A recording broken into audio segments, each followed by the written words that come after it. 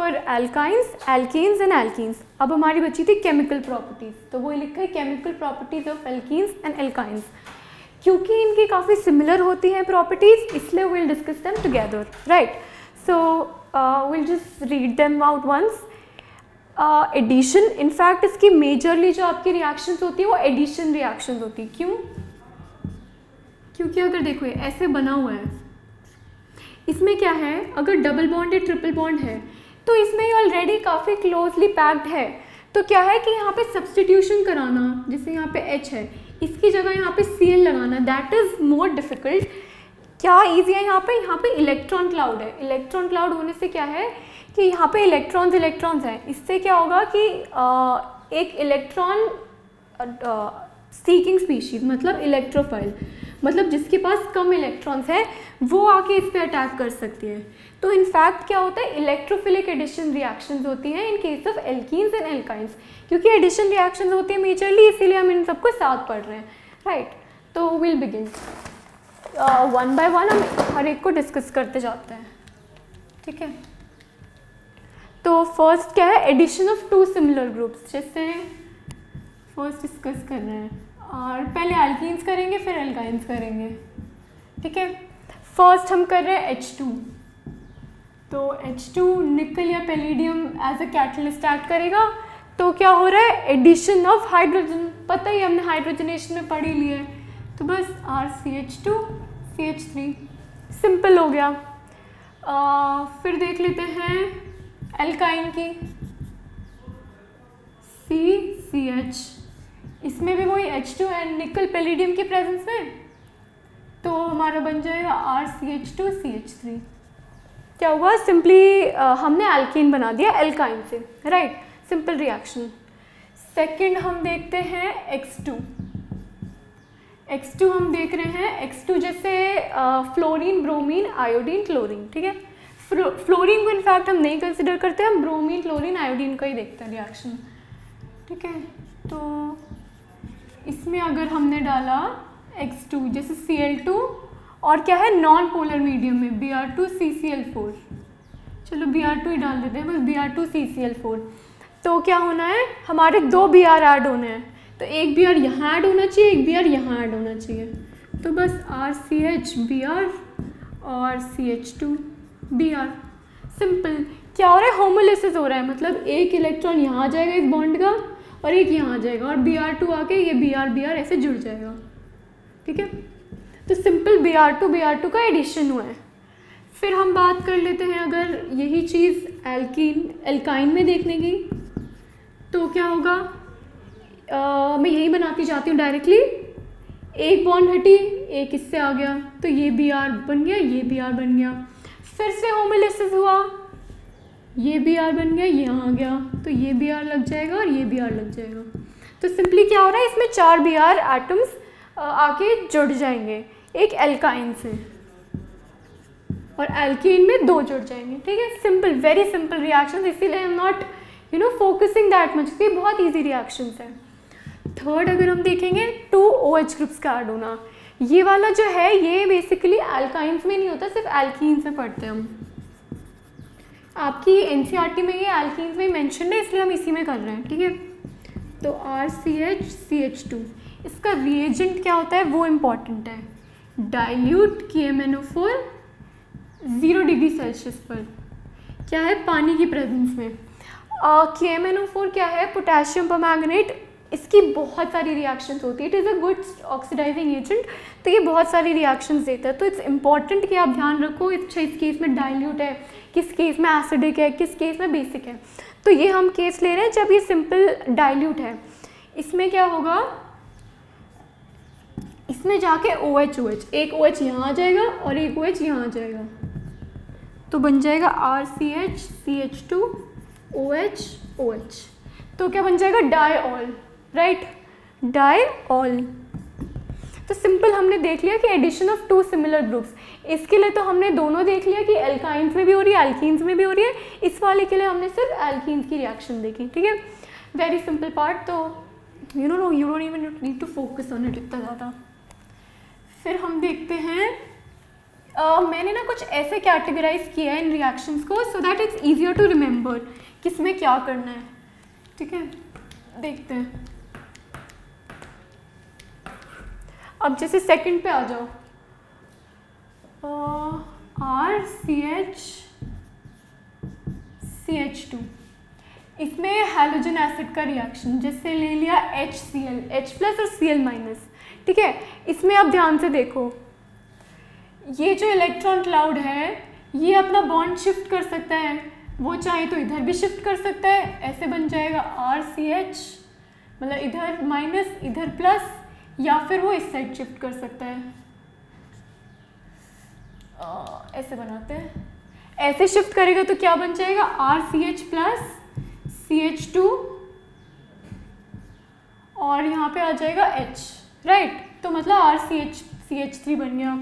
और क्या कर सकते हैं? ये इस साइड भी शिफ्ट कर सकता है।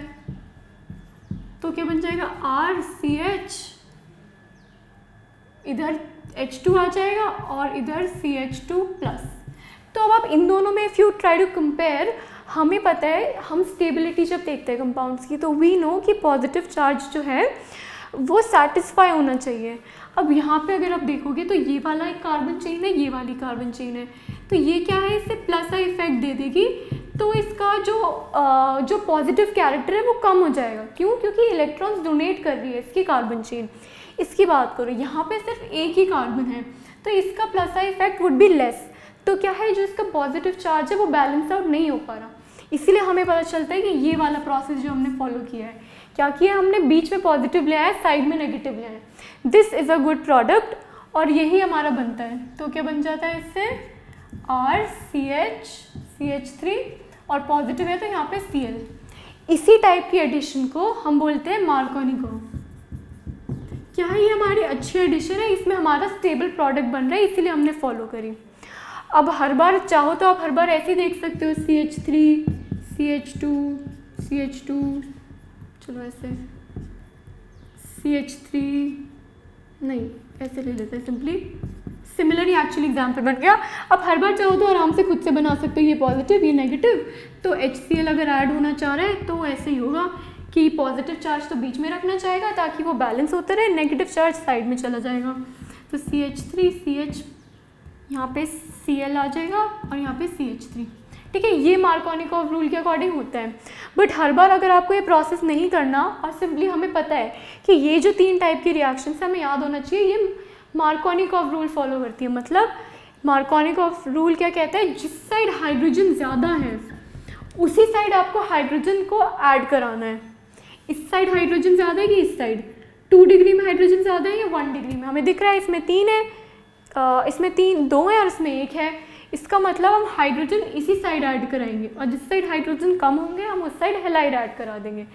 तो मार्कोनिक ऑफ़ को याद करने का सिंपली ये तरीका है, अगर आपको पूरा प्रोसेस नहीं करना, हमें पॉजिटिव नेगेटिव नहीं देखना सिंपल प्रोडक्ट बनाना है।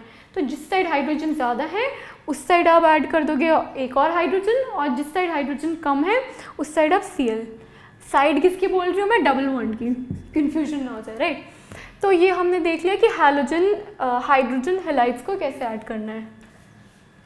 ये देखो, मैंने हैलोजन हेलाइड लिख रखा है।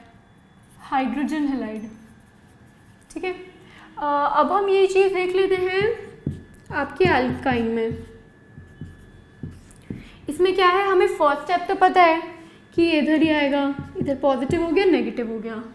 तो क्या बन जाएगा? R C H two C L अब क्या है? अब आप कंफ्यूज हो सकते हो कि इस साइड जाना चाहिए इस साइड जाना चाहिए। मतलब कौन सी साइड इलेक्ट्रॉन क्लाउड शिफ्ट होना चाहिए? वैसे यू कैन स्टडी इट कि अच्छा यहाँ पे वैसे पॉजिटिव चार्ज आएगा तो ये सी एल जो है इसको बैलेंस कर देगा, वैसे यू कैन सी बट होता यही है कि एक बार जिस साइड इलेक्ट्रॉन क्लाउड चला गया नेक्स्ट टाइम भी उसी साइड जाता है। मतलब हमें पता चल गया कि एक बार जो है ये नेगेटिव ये वाला शिफ्ट होके यहाँ जा रहा है तो दूसरी बार भी यहीं जाएगा। तो इसका जो एल्केन बनेगा, वो इस साइड ही अपना इलेक्ट्रॉन क्लाउड शिफ्ट करेगा और बना लेगा C L C L C H three ठीक है? बस याद करने की एक ट्रिक है क्या? कि जिस साइड एक बार इलेक्ट्रॉन क्लाउड शिफ्ट हो रहा है, दूसरी बार भी उसी साइड दूसरी बार हम क्यों बात कर रहे हैं? क्योंकि इसमें डबल बॉन्ड दो बार है। एल एल्कीन में तो एक ही होता है, इसलिए हम एक स्टेप में देख लेते हैं राइट सिंपल सी चीज़ थी कि हमने देख लिया कि addition of hydrogen halides in alkenes and alkynes follows Markovnikov addition Markovnikov addition क्या कहते हैं? जिस साइड हाइड्रोजन ज़्यादा है, उस साइड आप हाइड्रोजन ऐड करो, जिस साइड हाइड्रोजन जिस वाले कार्बन पर हाइड्रोजन कम है, उस साइड आप हेलाइड ऐड कर लो, ठीक है? फिर हम देख लेते हैं सल्फ्यूरिक एसिड सल्फ्यूरिक एसिड भी सेम ही चीज़ है। हमें पता चल गया ना हाइड्रोजन हेलाइड हमें सल्फ्यूरिक एसिड में वही एक इलेक्ट्रोफाइल ढूंढना है, एक न्यूक्लियोफाइल ढूंढना है। क्यों? क्योंकि हम इलेक्ट्रोफिलिक एडिशन कर रहे हैं। ठीक है? तो हम करते हैं second H two S O four का addition H two S O four का स्ट्रक्चर ही बना के देख लो अगर आप। ये होता है। तो मतलब ये हो गया O H plus O minus तो क्या है? हमें इसमें भी मार्कोनिकोव रूल फॉलो करना है। सिंपल अब तो हमें पता ही चल गया रूल क्या है। लॉजिक भी पता चल गया और रूल तो पता ही है। तो एच टू एस फोर अगर ऐड करना है तो कैसे करेंगे? आर सी एच जिस साइड ज़्यादा हाइड्रोजन है, उसी साइड हमें हाइड्रोजन बढ़ाना है। तो यहाँ पे हाइड्रोजन ज़्यादा है तो ये हो जाएगा सी एच थ्री और यहाँ पे हाइड्रोजन कम है तो हमें जो न्यूक्लियोफाइल है, जो नेगेटिव चार्ज है, वो लाना है which is O S O three H ठीक है? सिंपल वेरी सिंपल रूल तो हमने देख लिया सल्फ्यूरिक एसिड एल्कीन्स में कैसे होते हैं। एल्काइंस में भी वही बात हो जाएगी कि ट्रिपल बॉन्ड है सी एच सी एच ये आ गया। तो बस दोनों इसी साइड आ जाएँगे O S O three H O S O three H C H three ठीक है? एल्काइंस की एज सच आपकी सल्फ्यूरिक एसिड के साथ एनसीईआरटी में रिएक्शन गिवन नहीं है, इसलिए आई डेंट मेंशन वरना हमें पता लॉजिक तो हमें पता चल गया। मार्कोनिकोव एडिशन कराना है। और एल्काइंस के केस में जिस साइड एक बार बॉन्ड शिफ्ट होगी सेकेंड टाइम भी उस साइड ही होगी। ठीक है? तो यू कैन रिमेंबर इसके बाद वाटर वाटर में भी वही, अब तो हमें पता चल गया मार्कोनिकोव एडिशन कराना है। इलेक्ट्रोफाइल न्यूक्लियोफाइल ढूंढना है। इलेक्ट्रोफाइल जो, जिसके पास इलेक्ट्रॉन्स एक्सेप्ट करे यानी जिस पे पॉजिटिव चार्ज हो न्यूक्लियोफाइल वो जिस पे एक्सेस ऑफ़ इलेक्ट्रॉन्स हो, ताकि वो डोनेट कर सके। ठीक है? क्लियर होना चाहिए डिफरेंस इलेक्ट्रोफाइल और न्यूक्लियोफाइल में। बहुत ईजी ईजी चीज़ें हैं दोनों। ठीक है? तो अब हम देखते हैं वाटर का। वाटर में क्या है? H प्लस और ओ OH माइनस वही एक टिपिकल हमने एक एग्ज़ाम्पल सीख लिया अब तो। उसी को लगाते हैं। H plus O H minus Markovnikov addition करना है तीनों केसेस में। तो क्या हो रहा है? जिस साइड कम है हाइड्रोजन उस साइड जिस साइड ज़्यादा हाइड्रोजन है, उस साइड हाइड्रोजन और जो नेगेटिव चार्ज है, वो कम हाइड्रोजन वाले पे, ठीक है? ये हो गया एल्कीन्स का। एल्काइंस के में क्या हो जाता है? थोड़ा सा डिफरेंट कह लो, वैसे तो इजी चीज़ है सभी। इसमें आपने पानी डाला तो क्या हुआ, एक बार तो इलेक्ट्रॉन क्लाउड शिफ्ट हुआ इस साइड ये पॉजिटिव ये नेगेटिव तो R C O H double bond C H two ठीक है? यहाँ पे हमें पता है डबल बॉन्ड अब हमने पढ़ी थी आइसोमेरिज्म उसमें आपको याद होगा टोटो आइसोमर्स राइट टोटो में क्या पढ़ा था हमने? कि इक्विलिब्रियम में दो कंपाउंड्स अगर एग्जिस्ट करें. ये देखो, आपको उसमें से याद आएगा. ये है इन ऑल. इनॉल तो हमें पता है इनॉल किसके साथ इक्विलिब्रियम में एग्जिस्ट करता है? कीटो. तो क्या बन जाएगा ये R C O C H three. तो कीटो। तो क्या हुआ? हमारे एल्काइन से पानी डालने से हमारा कीटो ग्रुप बन गया। ये हमें कैसे पता चला? हमने जो टोटोमराइजेशन में पढ़ा था कि इनॉल फॉर्म और कीटो फॉर्म दोनों साथ में एग्जिस्ट करते हैं। तो इसमें क्या है? पानी हमने एक ही बार डाला। हमने दो बार डालने की ज़रूरत ही नहीं पड़ी। ऐसे ही बन गया। इनफैक्ट अगर आप दो बार डाल भी देते तो कोई बड़ी बात नहीं थी। ये ओवर हो जाता, ये ऐसे था। इसका फिर क्लाउड शिफ्ट करते तो ये ओ एच इधर आ जाता ये सी एच थ्री हो जाता। अब हमें पता है कि दो ओ एच एक आ, हम ऐसा कहते थे कि दो ओ एच एक कार्बन पे एग्जिस्ट नहीं करते। तो वही बस पानी हटा देते और वो यही बन जाता। ठीक है? तो बोलने का तरीका है वैसे हम इसमें एक बार ही एच प्लस ओ एच पानी डाल देते और फिर वो टॉटोमराइज होकर अपना सिंपल बन जाता है। ठीक है? तो इंपॉर्टेंट ये था ये हमें पता होना चाहिए कि इन तीनों में sulphuric acid H C L H B R type वाले में और वाटर में। इनमें मार्कोनिक ऑफ़ एडिशन होता है। और अब हमें क्लियर हो गया है कि मार्कोनिक ऑफ़ एडिशन एग्जैक्टली होता क्या है और उसका रीज़न क्या है। क्यों करते हैं? जितनी भी केमिकल प्रॉपर्टीज़ हैं, इन सब की ईजी हैं। बस इनका लॉजिक क्लियर होना चाहिए तो बहुत आराम से हो जाती हैं।